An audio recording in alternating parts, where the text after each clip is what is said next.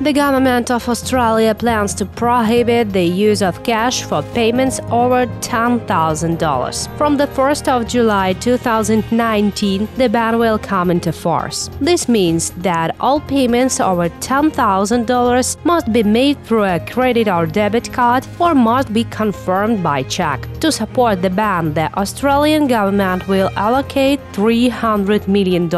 And over the next four years, tax revenues of $3 billion are planned. Because the purpose of the bill is not only the transition to the digital community, but also the prevention of tax evasion.